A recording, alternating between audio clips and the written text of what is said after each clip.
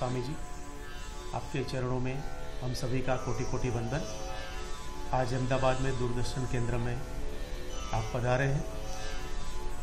हम सबकी आपसे विनती है कि गुरुदेव, कृपया अमृत बरसाइए। गुरुदेव, कृपया अमृत बरसाइए। पूज्य गुरुदेव, कृपया अमृत बरसाइए।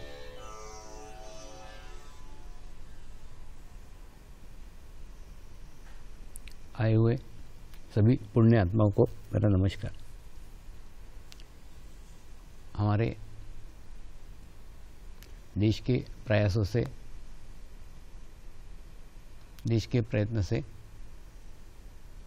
योग को एक विशेष महत्व प्राप्त हुआ है।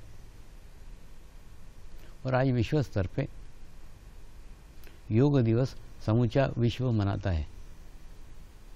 जब हमने इसका प्रचार प्रसार किया है तो हमारा कर्तव्य है कि समग्र योग विश्व के सामने रखा जाए, विश्व को उसकी जानकारी दी जाए। लेकिन अभी ऐसा नहीं हो रहा है। अभी आप देखिए, जिस दिन योगा दिवस रहता है, उस दिन समाचार पत्रों में, उस दिन टेलीविज़न पे, उस दिन न्यूज़ चैनल पे, सब जगह आपको योगासन यानी योगा, योगासन यानी योगा, यानी केवल और केवल।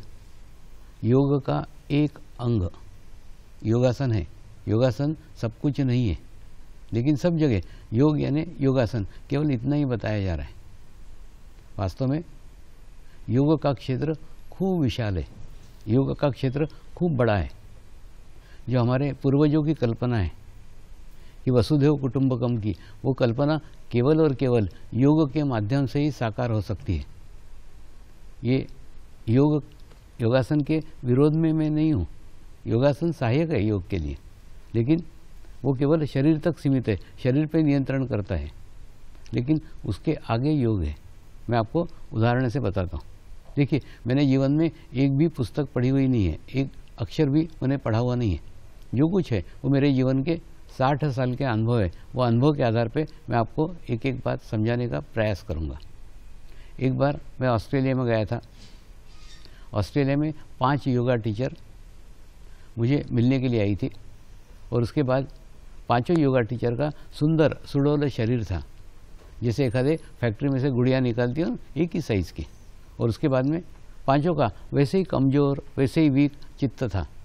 तो मुझे बहुत आश्चर्य हुआ कि योगा टीचर है तो इसका चित्त भी स्ट्रांग होना चाहिए। इसका चित्त भी पवित्र होना चाहिए। लेकिन ऐसा नहीं था।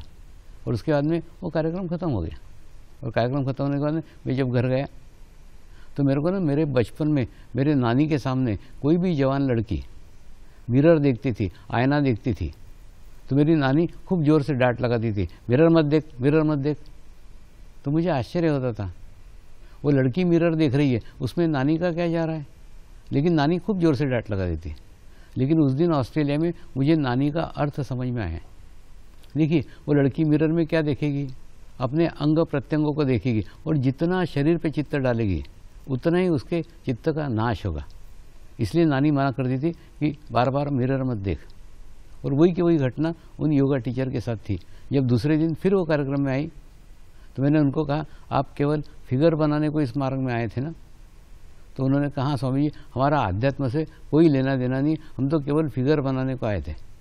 मैंने उनको कहा, आप फिगर बनाने को आए थे, फिगर बन गई, लेकिन अब चित्त का नाश हुआ, उसका क्या? तो बोले हाँ हुआ तो है, अब क्या करें? मैंने उनको बोला, अब आप आपके चित्त को ऐसी जगह स्थिर करो, जो नाशवान नहीं है। लोग आपको पागल बोले तो भी चलेगा। आप ना रोज एक तीस मिनट आकाश की तरफ़ देखो। लोगों ने पागल बोला तो भी चलेगा। आकाश की तरफ़ एक तक देखते रहो तो क्या होगा? धीरे धीरे आपका चित्त स्ट्रांग होगा, क्योंकि आकाश नाशवान नहीं है। तो कहने का अर्थ, योग का क्षेत्र खूब विशाल है, और योग के क्षेत्र में एक व्यक्ति यहाँ बैठ करके दुनिया के किसी भी व्यक्ति के बारे में संपूर्ण जानकारी प्राप्त कर सकता है। इतना बड़ा योग का क्षेत्र है। देखिए, मैं आपको एक उदाहरण से देता हूँ। एक बार मैं एक कोलिन नाम के क्रिश्चियन पादरी के घर, यूके में उतरा हुआ था, और उसके बाद में वहाँ टेलीविज़न पे एक कार्यक्रम आ रहा था। एक कैमरामैन केरलियन फोटोग्राफी का कैमरा लेकर के आया। एक अलाउंसर बैठी हुई थी, उस अलाउंसर को बोला, देख, मैं कैमरा लेकर के आया हूँ, मैं तेरा फ़ोटो निकालूँगा। और फ़ोटो निकालने के बाद में उस फ़ोटो के आसपास कौन कौन से रंग आए हैं। वो रंग देख करके मैं बताऊँगा, तू कैसी लड़की है? तो उसने उसका फ़ोटो निकाला और फ़ोटो के आसपास जो रंग आए, वो रंग देख करके बताया कि तू कैसी लड़की है।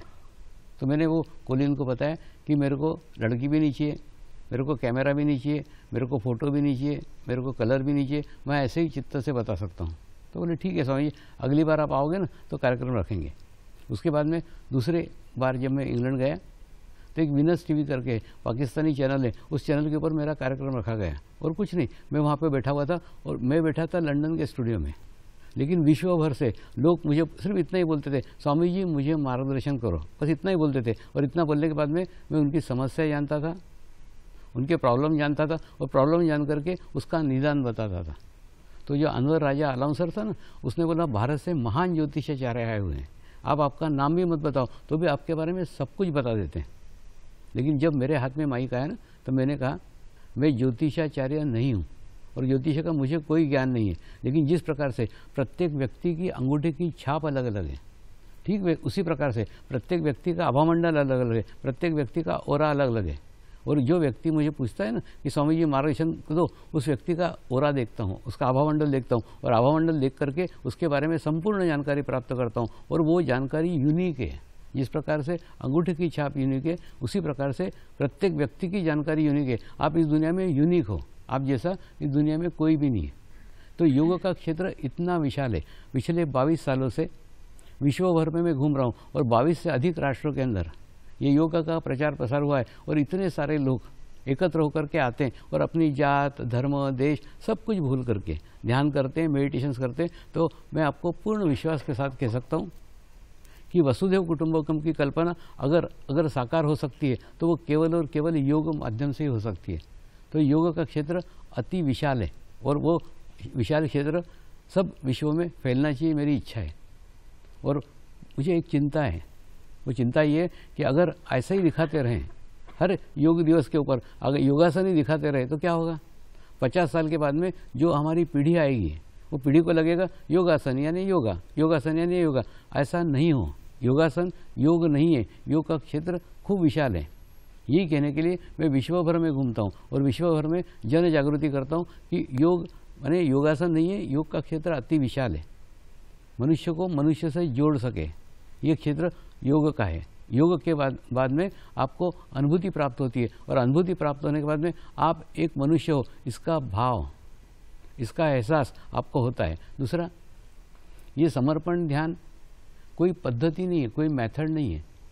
कुछ दिन पहले मैंने दांडी में कुछ मुनियों का, कुछ साधुओं का, कुछ गुरुओं का शिविर लिया था और शिविर के पश्चात कुछ जैन मुनियों ने आठ दिन के बाद मुझे प्रश्न किया स्वामी जी ध्यान की तीन पद्धतियाँ हैं। एक पद्धति है कि सांस के ऊपर चित्त रखो और चित्त रख के धीरे धीरे धीरे धीरे ध्यान करो। आपने इस पद्धति से भी ध्यान नहीं कराया। दूसरी पद्धति है त्राटक, यानी एक दिए की लो जलाओ और लो की तरफ़ एकाग्रता से देखते रहो देखते रहो देखते रहो और अपनी मन की एकाग्रता करो। इस पद्धति से भी आपने ध्यान नहीं कराया। तीसरा है भस्ती का प्राणायाम। भस्ती का प्राणायाम कर करके अपने मन को एकाग्र करो तो उस पद्धति का भी आपने अवलंबन नहीं किया। तो जो तीन पद्धतियाँ विश्व में प्रचलित है, उसका आपने कोई अवलंबन नहीं किया। तो और जो हमको तो हुआ है, हमको अनुभूति हुई है, लेकिन आज अगर हम बाहर जाएँगे और दूसरे मुनि हमको पूछेंगे कि कौन से पद्धति से सीख क्या है, कौन से मेथड से सीख क्या है तो हम उनको क्या मेथड बताएँगे, हम उनको कौन सी पद्धति बताएँगे, क्योंकि इसके अंदर कोई भी पद्धति नहीं है। मैंने उनको उत्तर दिया, ये ध्यान की पद्धति नहीं है। देखिए, पद्धति वो होती है, जो एक आदमी एक आदमी को सिखा सकता है, एक आदमी एक आदमी से सीख सकता है। लेकिन इसके अंदर कोई पद्धति नहीं एक संस्कार है। देखिए, संस्कार है यानी गुरुओं ने एक संस्कार को मुझमें डाला और बाद में अधिकृत किया कि उस संस्कार को विश्व में बांटूं। इसलिए हिमालय के गुरुओं ने अधिकृत करके मुझे इस मार्ग में भेजा है। दूसरा, ज्ञान सहित भी मुक्ति नहीं है, ज्ञान सहित भी मोक्ष नहीं है। इसलिए हिमालय के गुरुओं को यह ज्ञान प्राप्त था। वो ज्ञान से भी वो मुक्त होना चाहते थे। इसलिए उन्होंने संस्कार का सहारा लिया और संस्कार के माध्यम से अनुभूति विश्वभर में की। तो विश्वभर में अनुभूति के बाद में प्रत्येक मनुष्य को एहसास होता है कि वो समान है, एक जैसा है। फिर जाति के, धर्म के, देश के, रंग के सारी सीमाएँ टूट जाती है और सबको एक एहसास होता है कि हम केवल आत्मा हैं और मनुष्य के जीवन की जितनी भी समस्याएँ हैं, जितने भी प्रॉब्लम्स हैं, सब प्रॉब्लम, सब समस्या केवल और केवल शरीर से संबंधित है। अगर आपने आपके जीवन में शरीर भाव को कम कर दिया तो ऑटोमेटिकली आपके जीवन की सारी समस्याएँ समाप्त हो जाएगी। और शरीर भाव को कम करने के लिए मैं आपको नंगे पैर घूमने के लिए नहीं कह रहा हूँ। मैं आपको उपास करने के लिए नहीं बोल रहा हूँ। शरीर को तकलीफ़ देने के लिए नहीं कह रहा हूँ। मेरा सिर्फ़ इतना कहना है कि शरीर भाव नाम की एक छः इंच की लकीर है। उस लकीर को बिना काटे, बिना तोड़े, बिना फोड़े, अगर छोटी करने का है तो क्या करने का? उसके सामने आत्मभाव की दो फीट की लकीर बना दो। तो ऑटोमेटिकली वो लकीर छोटी हो जाएगी। ठीक उसी प्रकार से। मैं सिर्फ़ आपको बोलूँगा कि आप आत्मभाव वृद्धिगत करो। और जैसे आत्मभाव वृद्धिगत हो जाएगा, आपका देह भाव कम हो जाएगा। और जैसे देह भाव कम होगा, आपके जीवन की सभी समस्याएँ हल होगी। और दूसरा, मैं देखने को एक व्यक्ति हूँ, लेकिन एक व्यक्ति नहीं हूँ। मेरे साथ में हज़ारों, लाखों आत्माओं की सामूहिकता है कलेक्टिविटी है। मैं आपको एक किस्सा बताता हूँ। मेरे को ना मुंबई अच्छा नहीं लगता। मुंबई में कभी भी जाता हूँ ना तो मुंबई के दूर, एक ठाणे में एक रिसोर्ट है। वो रिसोर्ट में रुकता हूँ, वहाँ छोटे छोटे कॉटेज बने हुए और वहाँ पे सुबह चार बजे एक आम के झाड़ के नीचे ध्यान करता हूँ। तो ऐसे एक दिन सुबह चार बजे मैं ध्यान करते बैठा था। तो सुबह जैसे ध्यान में से उठा ना तो एक पति पत्नी वहाँ दौड़ लगाने को आए थे। वो क्लब के मेंबर होंगे, दौड़ लगाने को आए थे। वो बोले, स्वामी ये क्या कर रहे थे? फिर ऐसे थोड़े ना हमारी आधा घंटा ध्यान के ऊपर चर्चा हुई और उसके बाद में वो दोनों चले गए। और उसके बाद में फिर मैं दूसरे दिन उसी झाड़ के नीचे ध्यान करने बैठा था। तो बाद में फिर वो मिले। बोले, स्वामी, कल तो आपको मिल के गए ना तो चमत्कार हो गया। मैं ना एक ठाणे के फलाने फलाने कंपनी में आईटी का प्रमुख हूँ और एक प्रोग्रामिंग, मैं चार पाँच महीने से करने की कोशिश कर रहा था, नहीं हुआ और कल आपको मिल के गया और एक घंटे में हो गया। मैंने उनको कहा, इसमें चमत्कार जैसी कुछ भी बात नहीं है। तो बोले, क्यों? मैंने उनको कहा, कल तुम आधा घंटा मेरे साथ नहीं बैठे थे। मेरे साथ लाखों पवित्र और शुद्ध आत्माओं की सामूहिकता है, कलेक्टिविटी है। उन लाखों लोगों के बीच में तुम अगर आधा घंटा बैठे तो वो सकारात्मक चीज़ों का, सकारात्मक बातों का प्रभाव तुम्हारे ऊपर भी पड़ेगा ना? तो होता है, आप किस संगत में बैठे हो? किन लोगों के साथ बैठे हो? देखिए, आप शरीर से कहीं भी बैठे हो, आप शरीर से किसी भी जाति के हो, आप शरीर से किसी भी देश के हो, लेकिन अगर ध्यान के माध्यम से आप एक दूसरे के साथ जुड़ते हो तो एक बहुत अच्छी पवित्र सामूहिकता एक पवित्र कलेक्टिविटी आपको मिलेगी और उससे धीरे धीरे धीरे धीरे आपके सभी समस्याएँ, सभी प्रॉब्लम हल होंगे। एक बार राजकोट में एक शिविर रखा गया था और शिविर के अंदर रेड क्रॉस ने स्टॉल लगाया था। जो लोग आ रहे थे ना, उनका बीपी चेक किया, उनका शुगर चेक किया और चेक करने के बाद में, आठ दिन के बाद में उन्होंने उनके परिणाम दिए। तो 90 प्रतिशत लोगों का सकारात्मक चेंज आया था, सकारात्मक बदलाव आया था। और मज़े की बात ये, जो लोग सकारात्मक बदलाव की बात कर रहे थे, उनको मैंने देखा तक नहीं। क्यों नहीं देखा? क्योंकि मेरे ऊपर बड़े बड़े फ्लड लाइट डाले हुए थे। मेरे को तो कुछ नहीं दिख रहा था, अंधेरा ही अंधेरा दिख रहा था। उसके बावजूद भी उन लोगों के अंदर चेंज आया। उन लोगों में बदलाव आया। क्यों बदलाव आया? बदलाव इसलिए आया कि वो रोज़ दो घंटा ऐसे लोगों में बैठते थे जो विचार करते ही नहीं थे। और उसके बाद में केवल वो अस्सी हज़ार, नब्बे हज़ार लोग नहीं थे। जब ध्यान करने बैठते हैं तो लाखों लोग उसके साथ जुड़े हुए रहते हैं। और लाखों लोगों की सामूहिकता उसके साथ जुड़ी हुई रहती है। मैंने सांसदों का शिविर लिया। और सांसदों के शिविर में मैंने कहा कि आप जितने आध्यात्मिक गुरु हैं, सबके लाइसेंस इश्यू करो। एक बहुत अच्छा तरीका है, बहुत अच्छा माध्यम है। तो उससे क्या होगा? देखिए, अगर लाइसेंस इशू करते हैं तो क्या होगा? उस गुरु का पतन होने के पहले उसको पता लगेगा। क्या होता है मालूम है? कोई गुरु गुरु नहीं है, सब अच्छे हैं। लेकिन होता क्या है, ये लोग अपनी साधना छोड़ करके कार्यक्रम कार्यक्रम कार्यक्रम कार्यक्रम करना चालू कर देते हैं। और उसके बाद में उनका कब पता नहीं जाता उनका, उनको ही पता नहीं चल जाता। तो उसी प्रकार से मैंने उनको और दूसरा, एक अगर गुरु का पतन होता है तो लाखों साधकों का भाव टूटता है। तो मैंने उनको कहा कि आप आध्यात्मिक गुरुओं के लाइसेंस इश्यू करो ना। देखिए, जैसे अपन आरटीओ में जाते हैं, अपन ड्राइविंग का टेस्ट देते हैं, पाँच साल के बाद में अपने को पाँच साल का लाइसेंस देते हैं कि पाँच साल तुम ड्राइविंग करो। फिर पाँच साल बाद जाते हैं रिन्यू करते हैं। वैसे उसी ने कहा कि मैं आध्यात्मिक गुरु हूँ। तो उनका ना, उनका ओरा देखो, उनका अभामंडल चेक करो। अभी आध्यात्मिक स्थिति को जांचा जा सकता है, आध्यात्मिक स्थिति को परखा जा सकता है। ये स्थिति पहले नहीं थी। साइंस के कारण। अभी यह संभव हुआ है। तो आध्यात्मिक गुरु का ओरा देखो। उसका आभा मंडल अच्छा है, उसका ओरा अच्छा है, उसको पाँच साल के लिए लाइसेंस दो। और अगर उसका ओरा खराब है, उसको बोलो, अब एक साल तो घर बैठ। अभी आध्यात्मिक गुरु तो नहीं रहेगा। और उसके बाद में उसको उसकी स्थिति इंप्रूव करने दो ना। तो दोनों का भला है। साधकों का भी भला है और गुरुओं का भी भला है। ये मैंने सांसदों को राय दी थी। जब सांसदों का शिविर हुआ था तब। लेकिन उन्होंने उतना उसको सीरियसली लिया नहीं। लेकिन यही बात जब मैंने थियोसॉफिकल सोसाइटी में बताई, लंदन में। देखो थियोसॉफिकल सोसाइटी का प्रकार क्या है? वहाँ पे एक क्रिश्चियन पादरी को मैं बैठा हुआ था सोफे पे। वो सोफे पे बैठा हुआ था। मैंने उसको पूछा, हाथ में वाइब्रेशन आ रहे हैं क्या? तो उसने ऐसे हाथ आगे किए। हाँ बोले, स्वामी जी, आ रहे हैं। मैंने उनको बोले, एक काम करो, अब सोफे में मत बैठो, नीचे बैठो। अब आ रहे हैं क्या? तो बोले, अब एकदम बढ़ गए, अब बहुत अच्छा लग रहा है। तो मैंने जो चीज़ एक ग्रंथ से समझ में नहीं आती, उसको एक अनुभूति समझ में आ गई। और उसके बाद में देखो, इसमें कोई धर्म की बात हुई क्या? नहीं, उसने कोई क्रिश्चियन धर्म की बात नहीं की, मैंने कोई हिंदू धर्म की बात नहीं की। फिर भी एक बात उसके समझ में आ गई कि नीचे बैठने से ज़्यादा वाइब्रेशन आते हैं। थियोसॉफिकल सोसाइटी में सारे अंग्रेज़ सूट, बूट पहन के कुर्सियों पर बैठे थे। ये महाराज ज़मीन पर बैठे थे, क्योंकि उनको समझ में आ गया था कि नीचे बैठने से अधिक से अधिक वाइब्रेशन मिलते हैं। और उस वहाँ पर अंग्रेज़ों ने मुझे कहा, स्वामी जी, आप बोलते हो कि प्रत्येक का ओरा चेक करना चाहिए, उसको लाइसेंस इशू करना चाहिए। तो आपका भी तो ओरा पुराना है। पंद्रह साल पुराना है, दस साल पुराना है। अभी आपका ओरा दिखाओ ना। अगर आपका आभा मंडल दिखाओ ना। अगर आपका आभा मंडल अच्छा रहा तो हम सब लोग ध्यान करेंगे। सब लोग मेडिटेशन करेंगे। मेरे को मेरा आभा मंडल बताने का कोई इच्छा नहीं था। लेकिन मैंने सोचा, अगर मेरा आभामंडल देख करके, मेरा और देख करके ये लोग अगर ध्यान करने के लिए प्रेरित होते तो क्या बुरा है? तो कुछ नहीं। जैसे सामने स्टेशन है ना, ऐसा एक सिंपल स्टेशन था। उस स्टेशन के हम लोग सब बैठे एक ट्यूब में बैठे और ट्यूब में जब हम लंदन में उतरे तो मुझे आश्चर्य हुआ, मेरे सर के ऊपर नो स्टेशन थे। और नो स्टेशन पार करके जब मैं ऊपर आया, तब लंदन शहर में पहुँचा। और पहुँचा तो एक डॉक्टर से अपॉइंटमेंट लेके रखा था। जिसे अपन सीटी स्कैन करते हैं ना, उसी प्रकार से मेरे को एक मशीन पे बिठाया गया, मेरे दोनों हाथ ऐसे रखे गए। और उसके बाद में आधे घंटे तक पूरा स्कैनिंग चलता रहा। एक एक चक्र का स्कैनिंग हुआ। और चक्र का स्कैनिंग होने के बाद में उन्होंने मुझे पहला प्रश्न किया आप ज़िंदा कैसे हो? मैंने पूछा, ऐसा क्यों बोल रहे हो? तो बोले, ये उस आदमी का हवामंडल है, ये उस आदमी का हो रहा है, जिसका शरीर भाव पूर्णतः छूट गया है।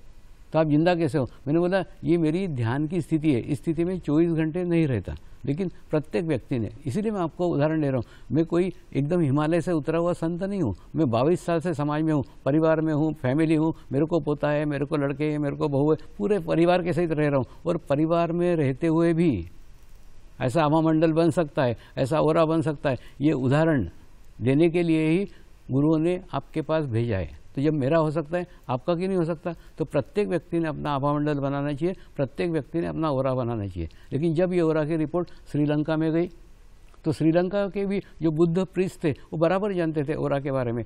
बराबर जैसे ही मैं आया तो मंदिर के बाहर, जो मुख्य मंदिर था, वो बाहर लेने को, नहीं, स्वामी जी, आपका ओरा बहुत ही सुंदर है, बहुत ही पवित्र है, बहुत ही शुद्ध है। तो अभी ना आध्यात्मिक स्थिति को जांचा जा सकता है। आध्यात्मिक स्थिति को परखा जा सकता है। ये साइंस की प्रगति है, ये साइंस का प्रोग्रेस है। दूसरा, मैंने सांसदों को कहा, अगर आपको योगा दिवस मनाने का है तो आपके पास में दो चीज़ों की आवश्यकता है। पहले तो एक ऐसा मंत्र की आवश्यकता है, जो मंत्र विश्व मान्य हो। विश्व का प्रत्येक व्यक्ति उस मंत्र को बोलने के लिए तैयार हो, ऐसा मंत्र होना चाहिए। दूसरा, ऐसा संगठन होना चाहिए जिसके विश्व भर में नेटवर्क हो। तो समर्पण के पास में दोनों चीज़ें विश्व भर में नेटवर्क है और उसके बाद में एक ऐसा मंत्र है, जो मंत्र सभी लोग बोलने के लिए तैयार है। कुछ नहीं, मंत्र एकदम सिंपल है। मंत्र एकदम साधा है। तो उस मंत्र का उच्चारण करके आप भी ध्यान से जुड़ सकते हैं। और दूसरा, मंत्र कोई विशेष नहीं है। मैं छोटा था ना, पाँच साल का था, सात साल का था तो मेरे अंदर एक मंत्र चलता था, मैं एक पवित्र आत्मा हूँ, मैं एक शुद्ध आत्मा हूँ। ये चलता था, बस। उसी को मंत्र बना दिया। तो मंत्र एकदम सिंपल है, मंत्र एकदम साधा है, लेकिन साधे मंत्र को, के पीछे मेरी साठ साल की साधना है। साठ साल की तपस्या है, एक। दूसरा, लाखों लोगों की सामूहिकता है, लाखों लोगों की कलेक्टिविटी है। जैसे आप इस मंत्र के माध्यम से ध्यान करेंगे तो आप उन लाखों लोगों से जुड़ेंगे जो पवित्र और शुद्ध आत्मा है। तो ऑटोमेटिकली क्या होगा? आपको भी वो स्थिति प्राप्त हो जाएगी जो उन लोगों को स्थिति प्राप्त है। तो एक मंत्र के माध्यम से आप एक विश्व स्तरीय संगठन से जुड़ सकते हैं और उसके बाद में अपने रेगुलर अपने घर में ध्यान कर सकते हैं। दूसरा, जब ध्यान करने के लिए बैठोगे ना तो आएगी, तकलीफें आएगी। तकलीफें आएगी मतलब क्या? पहले आपका शरीर आपको साथ नहीं देगा। क्यों? आपको जहाँ खुजाल नहीं छूटती, वहाँ खुजाल छूटेगी, गैसेस आएँगे, उसके बाद में क्या बोलते हैं ना, उबासी आएगी, खांसी आएगी, सब होगा। लेकिन ये सब विरोध सहन करते हुए भी आपको आधा घंटा वहाँ से हिलने का नहीं है। दूसरा हमला होगा। आपके ऊपर दूसरा हमला होगा, आपके विचारों का। इतने विचार आएँगे, इतने विचार आएँगे कि कुछ पूछो मत। अभी एक जैन मुनि ने अनुभव बताया, स्वामी जी, बावन साल पहले मेरे हाथ से एक बिल्ली का बच्चा मर गया था। वो विचार बावन साल के बाद में आ जाए। तो कहने मतलब जब आपके चित्त की शुद्धता होगी, आपके चित्त का पवित्रता होगी तो जितने विचार हैं, सब विचार विचार विचार विचार सब बाहर आएँगे। तो वो विचारों को भी रोकने का कोशिश मत करो। विचारों को देखो। जैसे हम एक पुलिया पे बैठ के देखते कि नहीं, ये ट्रैफ़िक जा रहा है, ये बस जा रही कार जा रही वैसे विचारों को निरीक्षण करो। आप विचारों को रोकने का कोशिश मत करो। विचारों को रोकने का कोशिश करेंगे, फिर वो शरीर से होगा। ध्यान आत्मा और परमात्मा का संबंध का है। इसमें शरीर का कोई भी रोल नहीं है, प्रयत्न का कोई भी रोल नहीं है। तो इसमें प्रयत्न मत करो विचार रोकने का। आप क्या करो कि केवल विचारों का निरीक्षण करो। तो आप देखोगे निरीक्षण करते करते करते आप एक स्थिति में जाएँगे कि आपके सारे विचार बंद हो गए। केवल एक विचार चल रहा है। वो एक विचार को चलने दो, और उसके बाद में, आप देखोगे, कुछ दिन बाद वो विचार भी चला गया। तीसरा, आपके ऊपर हमला होगा बुद्धि का। बुद्धि का यानी वो आपको कहने का कोशिश करेगी, अरे, ये ध्यान व्यान तो बाबा लोग करते हैं। आम आदमी है तू, आम आदमी कभी ध्यान करता है क्या? तेरे से कभी ध्यान हुआ क्या? तूने कभी ध्यान किया क्या? ऐसा आपको नर्वस करने का खूब कोशिश करेंगे तो भी वहाँ से उठने का नहीं। इसलिए मैं लोगों को एक उपाय बताता हूँ कि आप आपके जीवन का तीस मिनट मुझे दान करो। देखिए जो कुछ चीज़ दान करते कि नहीं? वो वापस नहीं मांगते तो आप एक पैंतालीस दिन मुझे तीस मिनट दान करो। तीस मिनट अगर आपने पैंतालीस दिन दान किया तो कितना होगा? साढ़े बाईस घंटा। साढ़े बाईस घंटे में आपकी दुनिया बदल जाएगी। अब वो मंत्र कौन सा है? वो ध्यान कौन सा है? आज हम वही करके देखेंगे। कुछ नहीं करने का है। आप जैसे बैठोगे नहीं? ऐसे ही बैठने का। आपके दोनों हाथ ऐसे सामने रखो। और सामने रखने के बाद में आप आपका राइट हैंड का जो बीच का पार्ट है, इसको तालू भाग पे रखो। और तालू भाग पे रख के हल्का सा दबाव दो वहाँ पे। और दबाव देके तीन बार क्लॉकवाइज घुमाओ।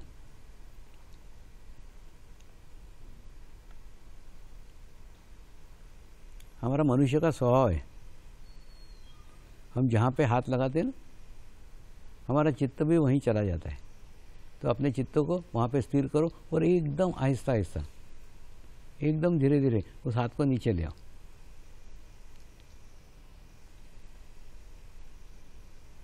और अपने चित्त को तालु भाग पे स्थिर रखते हुए तीन बार मेरे साथ मंत्र का उच्चारण करेंगे। मैं एक पवित्र आत्मा हूँ। मैं एक शुद्ध आत्मा हूँ। मैं एक पवित्र आत्मा हूँ। मैं एक शुद्ध आत्मा हूँ। मैं एक पवित्र आत्मा हूँ। मैं एक शुद्ध आत्मा हूँ। अपना चित्त तालु भाग पे रख के थोड़ी देर ध्यान करो।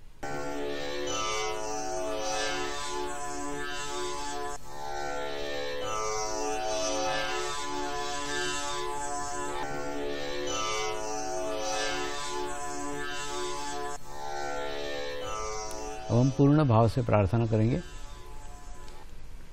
हे परमात्मा, कृपया मुझे आत्म साक्षात्कार प्रदान करें। हे परमात्मा, कृपया मुझे आत्म साक्षात्कार प्रदान करें। हे परमात्मा, कृपया मुझे आत्म साक्षात्कार प्रदान करें।